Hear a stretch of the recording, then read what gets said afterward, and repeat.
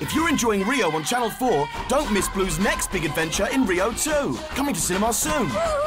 And to celebrate the release, we're giving you the chance to win an awesome adventure to the Amazon. Emma, what? For your chance to win, keep watching all the ad breaks during Rio and tell us how many times you spot Blue. At the end of the film, we'll tell you how to enter the competition. Keep celebrating. I'll be pooping on your party promptly. Rio 2 in cinemas 4th of April. Now get ready to spot Blue. On, let's rock this jungle. It's popping in the Amazon. Pop, pop, pop. You know what pop is backwards? Pop. How great was Rio? You won't want to miss Blue and the Gang's next big adventure in Rio 2.